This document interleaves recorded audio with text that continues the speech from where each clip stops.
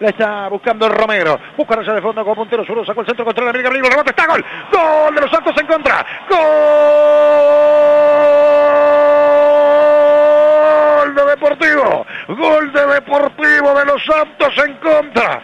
Vino el centro de Romero. Para mí le erró al arquero el manotazo. Y se la llevó puesta de los Santos. En su propio arco se termina metiendo. La pelota al fondo del mismo. Abre la cuenta de Cazuela Deportivo. A los 40 con 50 del primer tiempo. En un centro de Romero que no tenía mucha pretensión. Le erró el arquero el manotazo. Le termina pegando a De los Santos. Y se mete adentro abre la cuenta Deportivo. Está ganando Maldonado. Fútbol azul y sombra, llegando a todo el país y el mundo. El centro de Romero era bueno, la posición en la que estaba Claudio Pole Spinelli también lo era. Yo creo que Dufour se termina comiendo el amague de que el 32 finalmente no cabecea, que lo primeriaba justamente en el primer palo al arquero y por eso es que termina saliendo tarde. Y Guillermo de los Santos lo que pensaba era que el arquero llegaba y es por eso de que no se corrió de su posición y sin darse cuenta el balón le rebotó en las piernas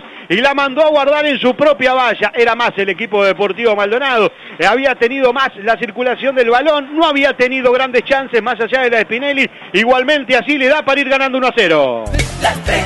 Una media penal, penal, penal, penal, penal, penal, penal, penal, penal, penal, penal, penal, penal, penal para defensor, penal para defensor, marcó el árbitro, estaba al lado de la incidencia, rebotó en la mano, dijo el árbitro que no dudó, penal para defensor a los ocho de este segundo tiempo abajo, y ya la pone abajo del brazo el chino Navarro. Sí, para mí es clara la mano de Ángel Cayetano, el momento de ir a marcar al chino Navarro, que intentaba justamente definir, veía la mano arriba, el brazo derecho, arriba del zaguero camiseteado con la número 4 en Deportivo Maldonado, tenía la visual clara Gustavo Tejera, que estaba al lado de la jugada, no dudó en ningún momento, terminó cobrando el penal, de acá también lo terminábamos viendo, seguramente el VAR se lo va a confirmar y va a tener la oportunidad el chino Navarro de llegar a su gol número 76 en Defensor Sporting. Y vaya si el 76 en Defensor significa, fue el año en el que se cambió la historia. Sí, señor. ¿Qué pasa, Hernández?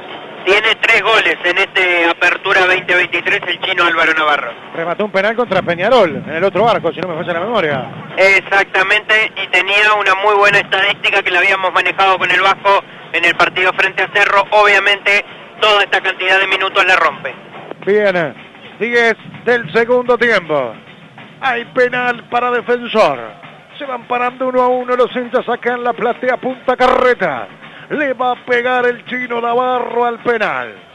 Puede ser un momento de quiebra el partido Vasco. ¿eh?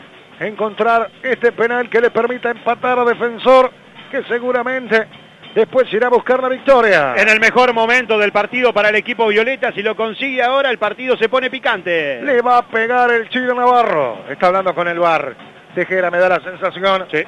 A ver qué es lo que pasa. Va a rematar Navarro el penal, habla con el bar. El árbitro central para el Vasco fue mano clara. Yo sinceramente no lo vi. Le va a pegar Navarro. Está haciendo señas con el bar Tejera que cambió un penal no hace muy poco contra Luisa, ¿no fue? Es verdad, pero lo confirma, ¿eh? Confirma el penal. Le va a pegar Navarro. Va a llegar Navarro, se paran uno a uno en la platea. Le va a pegar Navarro, se prepara la garganta. ¡Gol!